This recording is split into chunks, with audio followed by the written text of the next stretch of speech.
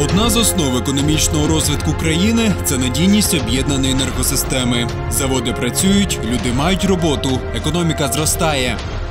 Утім, так було до 2014 року, поки війна на сході України не несла корективи в добробут нашої країни.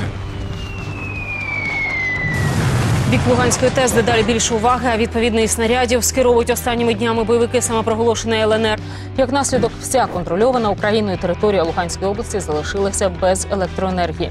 Працівники теж намагаються забезпечити роботу підприємства як можуть. Там перебито лінію електропередач, що живила Лисичанський і Сєвєродонецьк. Тут люди щодня працюють під кулями, аби жителі Луганщини мали світло. Водночас бойовики не полишають надії його захопити. Такі новини мало не щодня з'являлися на екранах телевізорів у 2014-2015 роках. Зараз я перебуваю на новій, сучасній, збудованій за усіма європейськими стандартами підстанції 500 кВт Кремінська. Вона і вирішила всі проблеми з енергопостачанням сходу України. Що могло статися, аби її не було? Олександра Мєзінцева проживає за кілька десятків кілометрів від лінії розмежування. Каже, до війни вже звикла. Зараз спокійно вмикає воду, світло та порається по господарству. и без света были, и на огороде только огород спасали, а как света нема, завал, жизни нема. На огороде все сохнет, и переживали, и плакали, что мы только не делали. Воды-то нету. До початку бойових дій основним джерелом електроенергії на півночі Луганщини була Луганська ТЕС. Від неї відходило багато високовольтних ліній електропередачі. Більшість з них або зруйнувалися під обстрілами, або ж залишилися на непідконтрольній території. Там же опинилася і базова для регіону підстанція 330 кВт Михайлівка, через яку до нього надходила електроенергія із інших частин енергосистеми. У результаті регіон залишився висіти на одній лінії 220 кВт, яка відходить від Луганської ТЕС, та 210 кВт, які з'єднували його з рештою енергосистеми. Цього геть не вистачало для нормального енергоживлення усіх споживачів, особливо в моменти, коли споживання було найбільшим. У пікові години північ Луганщини може споживати до 330 МВт потужності, з яких близько третини споживачі не могли отримати по тим лініям, що збереглися. Але було ще складніше, коли з ладу виходила сама Луганська ТЕС або єдина лінія 220 кВт, що відходить від неї. На подконтрольной территории, здесь, в городе Рубежном, находится э, завод «Заря», который производит взрывчатые вещества. Это было вечером, когда мне звонит технический директор «Зари» и кричит, Андрей, мы или мы сейчас выводим людей, и завод взрывается, ну, либо появляется электроэнергия в сети. Неспокійно було на Сєвєродонецькому азоті, який виготовляє добрива. Екстрене знеструмлення підприємства тягло за собою не лише фінансові втрати, але й техногенні та екологічні загрози. цикл остановки, если она произошла по электроэнергии остановка, и снова пуск предприятия, это 2-2,5 миллиона долларов. Ну и плюс э, само э, производство предприятия, это высокие давления, температуры, это водород.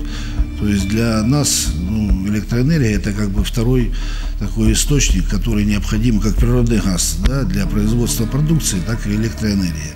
Это два вот основных источника. Коли лінії електропередачі не могли забезпечити необхідні обсяги живлення, для диспетчерів енергосистеми було важливим не допустити неконтрольованого розвитку ситуації, зберегти інфраструктуру мереж та збалансувати енергосистему. Для цього доводилося вдаватися і до графіку аварійних відключень споживачів. Насамперед, це були підприємства. Многие не работали, многие работали на минимуме с производства. Крупные, средние, мелкие, не все работали. Так что здесь на них сказывалось очень-таки сильно это все. Коли магістральну електромережу на Луганщині було зруйновано, регіон перейшов у так званий режим острова. Через це не можна було доставити електроенергію з решти української енергосистеми. Це означає, що північ Луганської області повністю була залежна від роботи Луганської ТЕС. Мы ждали в любой момент, вот если чихнет где-нибудь, где тонко, то порвется тоже все.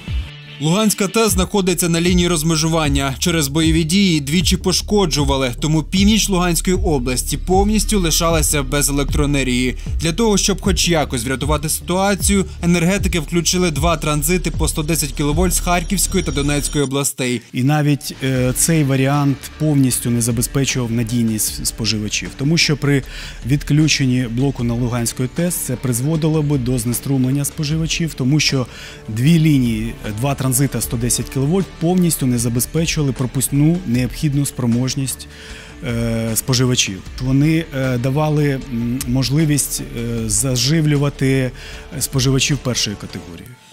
У 2017 році Рада національної безпеки і оборони України доручила Укренерго знайти спосіб забезпечити надійним електропостачанням північ Луганщини. Найкращим варіантом визнали будівництво нової підстанції напругою 500 на 220 кВт Кремінська та нових ліній 220 кВт, що сполучили із підстанцією Вілейна. Ось це під'єднання дало можливість заживити електроенергію підконтрольну частину Луганської області від об'єднаної енергосистеми України. Кременская подстанция и две ее линии 220 киловольт, по сути дела, стали энергомостом между энергосистемой Украины и севером Луганской области. На данный момент э, это две линии по станции Кременской, которые, скажем так, даже при остановке Луганской ТЭС, вот если случится что, они пропитывают полностью весь Луганский узел. Подстанция Кременская преобразовывает напряжение класса 500 кВт с помощью автотрансформатора в класс напряжения 220 кВт. Две линии 220 кВт передают напряжение на существующую подстанцию «Юбилейная», которая распределяет электроэнергию по территории Луганской области. Підстанція Кремінська має найсучасніше автоматизоване обладнання. Воно надійніше, зручніше, не вимагає великої кількості працівників для обслуговування та значно компактніше, ніж те, що використовували раніше. Ось один відкритий розподільчий пристрій 220 кВт на підстанцію ювілейна, який займає величезну площу. А ці два будиночки вміщують два комплектних розподільчих пристрої з елегазовою ізоляцією 500 та 220 кВт підстанції Кремінська те, що він обіймає як мінімум в 5 разів менше площі, ніж обіймає традиційний розподільчий пристрій в відкритому виконанні, він набагато економічніший з точки зору операційних витрат компаній. Мы все выдохнули, что больше мы, ну, в ближайшем там обозримом будущем мы не получим этой проблемы. Строительство Кременской подстанции – это надежность э, не только нашего предприятия, но и области, и всех предприятий, которые работают в области.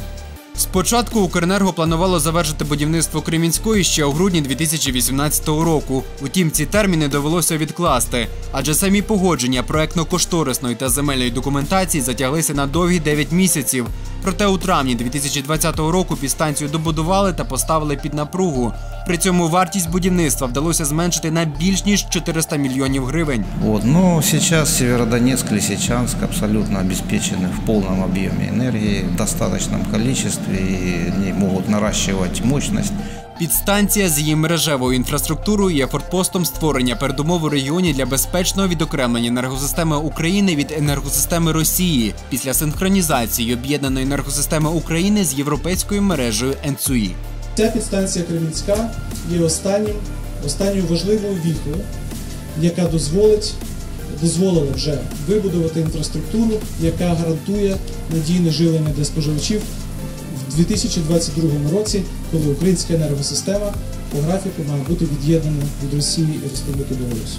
Аби переконатися в тому, що Кремінська справді виправила ситуацію, довго чекати не довелося. Напередодні її офіційного відкриття на Луганщині сталася масштабна лісова пожежа. За моєю спиною горить ліс під Сєвєродонецьком. Пожежа перетнула єдину повітряну лінію 220 кВт, яка з'єднує Луганську теплу електростанцію з підстанцією Лисичанська. У результаті пожежі через коротке замикання лінія аварійно відключилася. Утім, для споживачів електроенергії пожежа не спричинила жодних наслідків. Безпека та стале постачання електроенергії стали можливим завдяки включенню в роботу підстанції Кремінська. Кремінська підстанція стала енергобезпекою, надійністю та вірою промислового відродження мільйонної Луганської області України.